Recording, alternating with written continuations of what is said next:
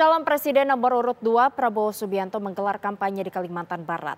Prabowo mendebar janji jika terpilih akan menjadikan negara Indonesia sebagai penghasil pangan sedunia dan memperhatikan pendidikan dari anak-anak suku Dayak.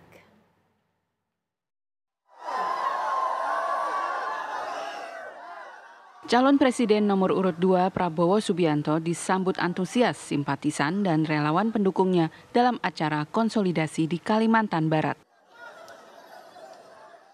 Di Pontianak, Prabowo menemui pasukan merah Tariu Borneo Bangkule Rajang dan berjanji akan membangun sekolah Taruna Nusantara di Kalimantan. Kita beri tepuk tangan sekali lagi.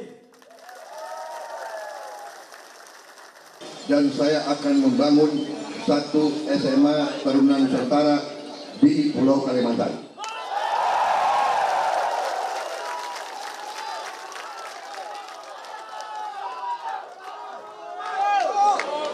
Saya akan minta petunjuk Bapak Presiden tempatnya di mana.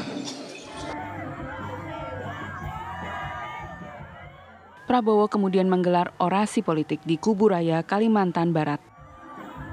Ketua Umum Partai Gerindra ini menyatakan dengan tegas sisa hidupnya akan diabdikan untuk bangsa dan negara Indonesia.